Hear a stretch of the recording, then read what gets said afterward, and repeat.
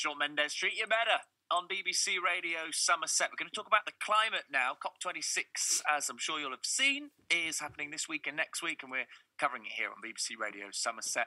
Uh, we've been hearing uh, yesterday, wasn't it, University speaking? We talked about climate justice. Today, we're going to talk about uh, eco anxiety. Creative media students at Strode College have begun a podcast all about it. Uh, Adrian Smith is the creative media production course leader at Strode, and uh, we're going to hear from students Ben, Romano, Harrison, and Jacob as well. Uh, evening, all of you. Hi. Evening. Hi. Hi. Hi. Thanks very much for uh, chatting to us today. Uh, Adrian, I'm going to start with you, if that's all right. Just tell us a bit about uh, how long the podcast has been running for and, and the sorts of things that might get talked about on it. Well, um, the students have been um, planning and producing the podcast for the last six or seven weeks, and um, they've produced, I think, about seven different podcasts so far. Um, and in fact, some of them have produced more than that. Um, they've gone off and produced their own individual podcasts each week as well. So I think they've been running for at least three or four weeks now. Great. Okay, let's uh, bring in some of the students then. Ben, I'm going to do it in the order I just read you out. So, Ben, um, tell Yeah. us a bit about uh, the sorts of topics that you've discussed on the podcast. Well, we went into stuff about climate anxiety. Um, mine focused quite a lot on carbon footprint, but we tried to keep it light, like a friendship conversation, where we talked about like um, devices we have, how we use them, and how we can cut down on carbon footprint, stuff like that. Right. Okay. For um, for people who haven't heard it before, Romano, just tell us what eco anxiety is. What does it mean? Well, climate anxiety is this um, this fear, really, of the dire situation that climate change can put us in. So, people feeling anxious about floods and wildfires, and you know the air becoming less breathable. It's no diagnosis, but it's just a, a state of mind of somebody concerned about the environment that they live in. Okay. And um, and Harrison, would you say that you and, and the people that you've worked with on the podcast have gone through those sorts of feelings? Um, so, some of us, yeah, but like, I I would say, yeah, Mm. Can can you explain to us w- what that is? Is there a specific part? Because there's so much as- uh, Romano sort of referenced there. Um, so many different strands to climate change and reasons to feel a bit anxious about it. Uh, is there any particular part that's really made you feel that way, or is it a kind of a, a general big picture? it's thing? just it's just a big picture, really. Yeah, it's yeah. nothing in particular. Um, Jacob, for people who want to listen in to it, uh, uh, is it available from you know places like Spotify or other podcast providers? Well, it's not out yet. It's not out on like big proper like places like Spotify or YouTube or anything like that. However, we are working on putting it on there at some point in the future, and we're gonna make it a part of like our own kind of podcast that we already do. And uh, uh, Jacob, did you en- enjoy doing it? I guess this is all part of your course. So, uh, Yeah. it- was it also enjoyable as as well as being you know useful for your uh, your- the work that you're doing? Oh yeah, it was really fun to record. We did loads of different segments. Like there was even one bit where it was like a parody of Who Wants to Be a Millionaire. Like it was like we wanted to keep it serious, where we had like actual like serious topics, but we did have a bit of fun with it, and we wanted to make it like feel like a open conversation.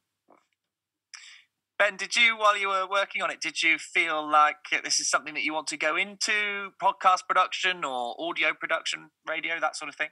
Definitely love to do that. Um, so much so that I've started or am starting up my own podcast with uh, close friends at college. Um, I'd love to go into radio in the future, but we have to see where the wind takes me. yeah, that's a, that's a good attitude. I think the wind the wind taking you is is a very good thing to uh, to sort of see how things pan out like that. I, I certainly wouldn't say that's uh, a bad thing. Romano, um, uh, for you, and and obviously as I say to Ben, you know, it's part of the course. But um, did you enjoy it enough that that this is the sort of thing that you want to do as well?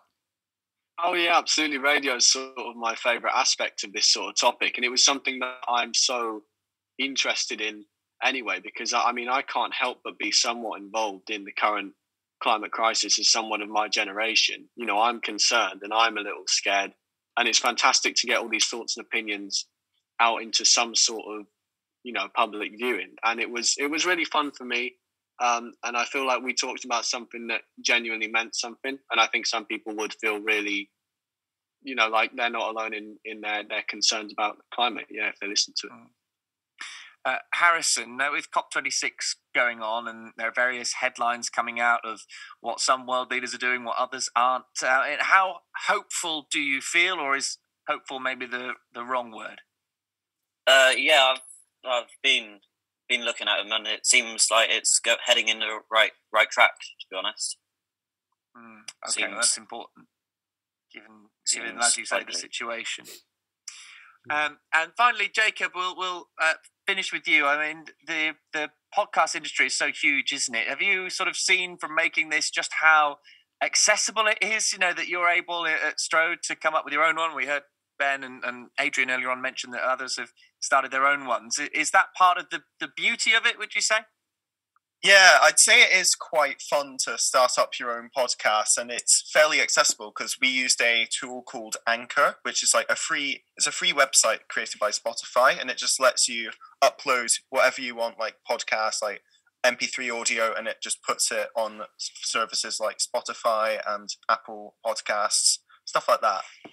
Mm, and mm. and that makes it easy for like just the average person to record what they want and put it up online and it, and that just makes it really fun because like there's just looking through podcasts there's just loads of di- people having different conversations about different things.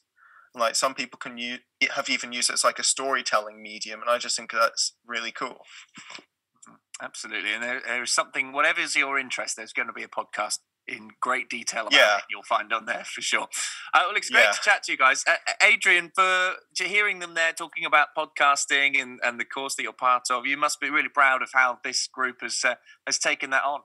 Yeah, I am. Yeah, they've done very, very well. They've put a lot of work into the podcasts, a lot of time and effort. They've researched the topics.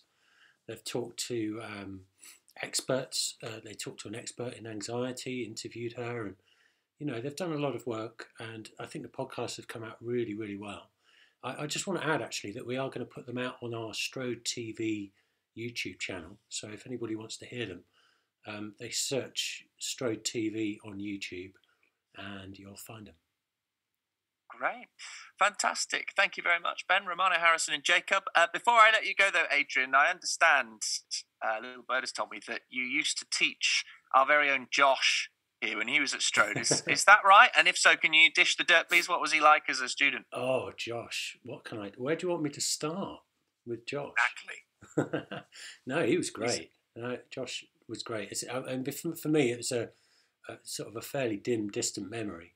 Um, I think it might have been about five years ago, six years ago, something like uh, that. But yeah, he was good. He uh, was good. No, no dirt well, to like, dish like all good uh, journalists, I'm going to take out one bit out of context and have it as the headline there. So he said you were fairly dim, Josh. That's what he said. no, I, I'm joking. I'm joking. Uh, it was great to speak to you all. Thank you so much. And Ben, Romano, Harrison, and Jacob, students at Strode, and Adrian Smith there, who's the creative media production course leader, who used to uh, teach our very own Josh, who we'll hear from a little bit later on in the show.